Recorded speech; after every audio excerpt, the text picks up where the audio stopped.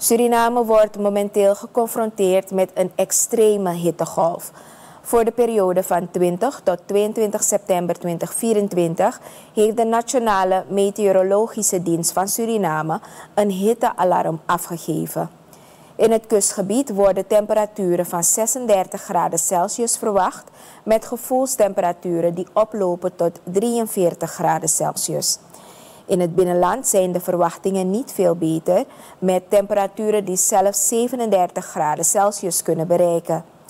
Kwetsbare groepen zoals ouderen, zwangere vrouwen, baby's en chronische zieken lopen een verhoogd risico tijdens deze hitteperiode.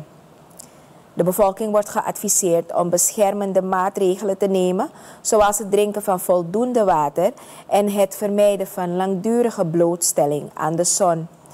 Suriname is echter niet de enige in de regio die door deze hittegolf wordt getroffen.